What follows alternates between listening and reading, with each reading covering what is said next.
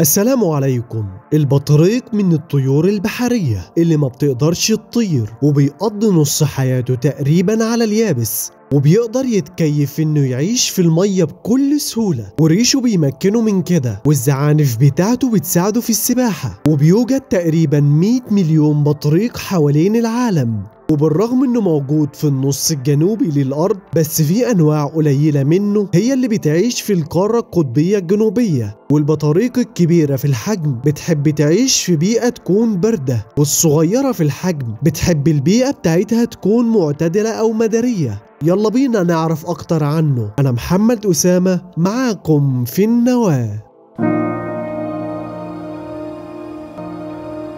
بتحب السباحة قوي وبتعوم لمدة 10 ساعات بسرعة 13 كيلومتر في الساعة وبتخرج كل دقيقة بره المية علشان تقدر تتنفس. جسم البطريق ملائم تماما إنه يعيش في المية. متغطي بريش قصير وسميك زي طبقة واقية كده بتحميه من المية وعنده طبقات دهنية سميكة ما بتخلوش يحس بالبرودة في المية الباردة. وبيحب يعمل العش بتاعه تحت الصخور الكبيرة أو الشجيرات وفي أنواع منه ما بتحتاجش تبني عش. فهي بتدفي البيض بتاعها وتحافظ على الصغيرين بتوعها عن طريق إنها بتحطهم في منطقة البطن عندها علشان تدفيهم وتحافظ عليهم. وبيتميز بمشيته الهادية ووقفته العمودية فهو عنده رجلين قصيرة وجسمه طويل ومنتفخ. وبالرغم من شهرة المشية بتاعته الصعبة دي بس بيقدر يمشي بسرعة زي الإنسان. وبيقدر يتسلق المنحدرات الصخرية وينط من صخرة للتانية بكل مهارة وحرفية ويقدر يتزحلق على الجليد على بطنه بكل سهولة. والبطاريق بتتغذى على الأسماك والسرطانات والحبارات وبتحب تاكل كتير. علشان كده بتحب المية اللي بتعيش فيها يتوفر فيها أكل كتير ليها وما بتحبش تعيش في منطقة موجود فيها حيتان.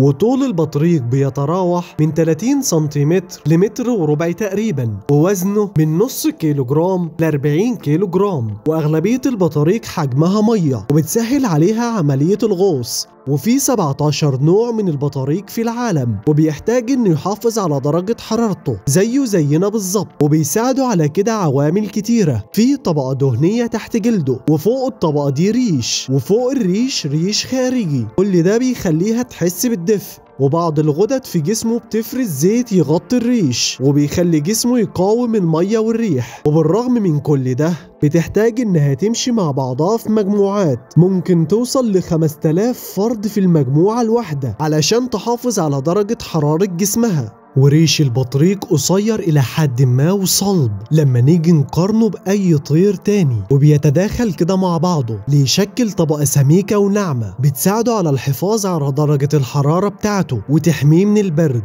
عظم البطريق مفيش فيه هوا ووزنه تقيل وجواه نخاع بيشكل تلت وزنه تقريبا. وبالرغم من وزنه التقيل ده ربنا خلقه بشكل انسيابي يقدر إنه يغوص في المية بكل حرية. يقدر يحبس نفسه تحت المية بقدرة عالية قوي أحسن من أي طائر تاني. ممكن يغوص بعمق المسافة توصل ل 500 متر ويقدر إنه يصطاد وهو على العمق ده عادي. والبطاريق بيخافوا على بعض جدا وبيحبوا يتعاونوا ويساعدوا بعضهم. فلو عاصفة جليدية هبت فجأة أو رياح شديدة جت بيقفوا مع بعض علشان يحموا بعض ويحافظوا على درجة حرارة أجسامهم. بيقدر ياكل أكتر من 30 سمكة في المرة الواحدة ويقدر يغوص أكتر من 100 متر 200 مرة في اليوم علشان يوفر الأكل اللازم.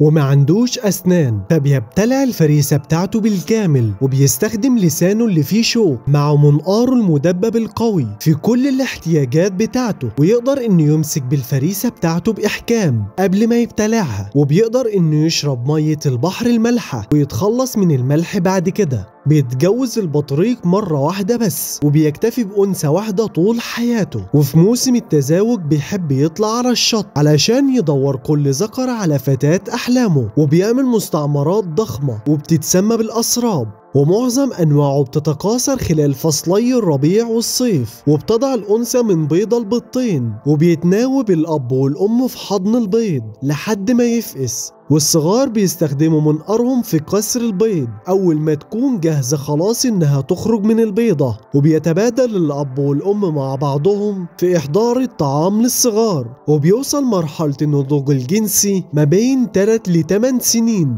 وفي أنواع كتيرة منه مهددة بالانقراض نتيجة لوجود عدة عوامل منها التلوث والتعديات البشرية على الأماكن اللي بيعيشوا فيها وتغيرات المناخ اللي بيلعب دور كبير في انخفاض أعدادها وما ننساش طبعا الحيوانات المفترسة اللي بتتغذى عليها. ولو حابب إننا نتكلم عن حيوان معين قول لنا عليه. وما تنساش تقول لنا رأيك في التعليقات وتشارك الفيديو لو عجبك. ونشوفكم على خير في نواة جديدة بإذن الله. والسلام عليكم ورحمة الله وبركاته.